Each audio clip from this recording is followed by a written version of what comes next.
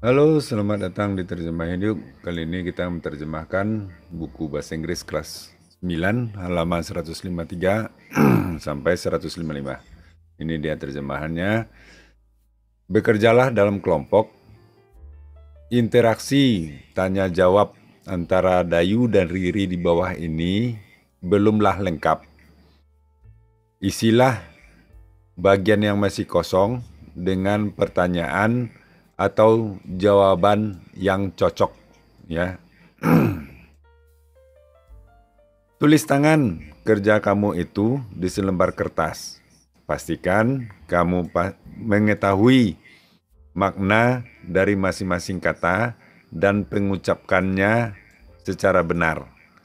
Pergunakan juga ya, pergunakan juga tanda baca secara benar. Ketika kamu menuliskannya, Ucapkan kata-katanya secara keras, jelas, dan benar. Pergunakan kamus. Jika ada masalah, tanya guru. Ya, come to me, datang kepada saya itu bisa diterjemahkan sebagai eh, tanyalah kepada saya. Nah ini gurunya ya. Interaksi dua interaksi pertama telah dibuatkan untuk kamu. Pertama, salin contoh tersebut. Nah, jadi eh, percakapan ini adalah berdasarkan dari apa? Eh, tugas kali ini adalah berdasarkan percakapan antara Riri dan Dayu di atas ini. Ini percakapannya di halaman nah 147 sampai 104. 8. Nah, itu dia. Nah, mari kita terjemahkan. Ini 150 baru ya. Nah, di bawah ini. Nah, itu dia. Percakapan pertama. Ya. Percakapan cara menter, uh, menjawabnya adalah kita uh, terjemahkan dulu yang kalimat lengkapnya.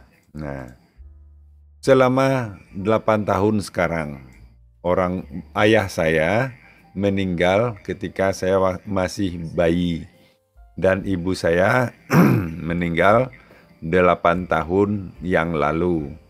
Nah, jadi pertanyaannya adalah Nah, kita jawab di sini. Nah, how long? Tentu sudah berapa lama kamu di panti asuhan ini? Karena jawabannya setelah uh, telah 8 tahun. Ini dia. Ya. How long have you been an orphan atau sudah berapa lama kamu menjadi uh, anak yatim ya nah sudah 8 tahun nah itu dia jawabannya ya. Percakapan, percakapan kedua. Nah, kenapa kamu tidak tinggal saja dengan kakek dan nenekmu? Ya, karena, nah kita jawabnya tentu karena mereka telah meninggal. Because huruf besar ini ya. Nah, they have passed away. Nah, sudah meninggal. Kakek saya meninggal bahkan sebelum saya lahir. Dan nenek saya meninggal enam tahun yang lalu. Nah, ya kan? Itu dia jawabannya. Percakapan ketiga. Nah, sekitar enam tahun saya datang ke sini di tahun 2008. Jadi kira-kira pertanyaan jawabannya adalah uh, sudah berapa lama kamu tinggal di panti asuhan? Nah, ini jawabannya. Jadi bahasa Inggrisnya How long have you lived here in this orphan home? Jadi sudah berapa lama tinggal di panti asuhan. Nah, sudah sekitar enam tahun. Nah, percakapan ke keempat, bagaimana kamu bisa datang ke panti asuhan ini? Nah, berdasarkan percakapan eh, teks di atas, nah eh, disampaikan bahwa pamannya yang membawa dia ke eh, panti asuhan ini. Jadi jawabannya adalah my uncle has put me here. Oops. Nah, put me here.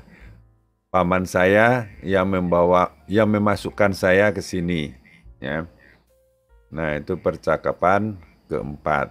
Percakapan kelima, tidak pernah dia memiliki lima anak dan rumahnya sangat kecil. Jadi eh, pertanyaan Sedayu adalah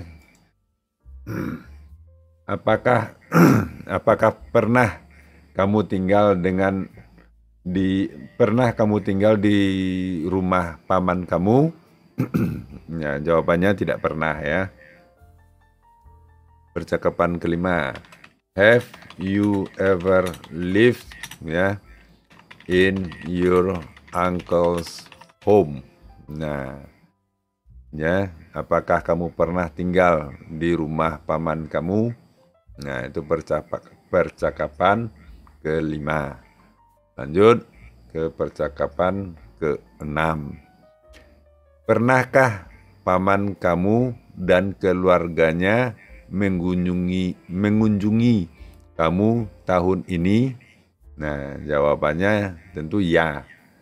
Mereka telah mengunjungi si Riri ini beberapa kali. Mereka mengunjungi saya secara teratur sekali sebulan ya. Jadi jawabannya yes they have visit, visited me many times ya. Jadi dalam tahun ini sudah beberapa kali dikunjungi. Mereka rutin mengunjungi saya sekali sebulan. Nah, percakapan ketujuh ya. Jawabannya jawaban Siriri adalah saya bergabung sejak didirikan uh, awal tahun lalu ya. Awal tahun lalu. Jadi pertanyaannya adalah telah berapa lama kamu bergabung dengan kelompok amal? Ya. Jadi uh, jawabannya adalah how long have you joined the charity group? Nah kelompok amal ya. Jadi dia sudah bergabung sejak awal, sejak didirikan awal tahun lalu. Nah, itu. Dan percakapan ke-8 apa yang kamu lakukan untuk memperoleh uang untuk eh, orang yang kurang mampu ya nidi ini kurang mampu atau ya boleh dikatakan miskin ya. Nah, apa jawabannya berdasarkan teks di atas? E, mereka membuat e, kerajinan tangan dan menjualnya ya. Jadi jawaban Siriri adalah we have made handicrafts and sold them. Nah, dia membuat kerajinan tangan dan menjualnya. Lantas, percakapan ke-9 kami telah memberikan mereka uang. Tahun lalu kami memberi 30 orang anak-anak jalanan 20 rupiah masing-masingnya. 20 ribu rupiah ya 20 ribu rupiah masing-masingnya, masing-masing anak. Nah, jawab pertanyaan dari Sedayu adalah apa yang telah kamu lakukan untuk anak-anak jalanan? Ya. Jadi bahasa Inggrisnya what have you done for street children? Nah apa yang telah kamu lakukan untuk anak-anak jalanan mereka kami memberi mereka uang tahun lalu kami memberi 20, 30 anak-anak jalanan 20 ribu rupiah masing-masingnya. Jadi anak itu dapat, satu anak dapat 20 ribu. Nah, percakapan terakhir, apa yang telah kamu lakukan untuk beberapa keluarga miskin di lingkungan kamu, ya di lingkungan eh, panti asuhan ya, Nah, jawabnya kami memberi mereka atau kami memberi masing-masing keluarga itu se sebuah uh, apa namanya bingkisan atau paket ya berisi gula, minyak minyak sayur atau minyak goreng ya dan uh, beras, ya kan? Berdasarkan teks di atas. Jadi dalam bahasa Inggrisnya adalah we have given each family a gift ya sebuah hadiah. Nah, kami memberi kami telah memberi masing-masing keluarga itu sebuah hadiah uh, berisi uh, containing gula, ya, cooking oil, eh, apa namanya, minyak goreng ya, dan beras. Nah, nah itulah terjemahan dari buku kelas 9 halaman 153 sampai 155. Mudah-mudahan eh, bisa dapat like dan subscribe sampaikan kepada teman dan guru, diskusikan dalam kelas.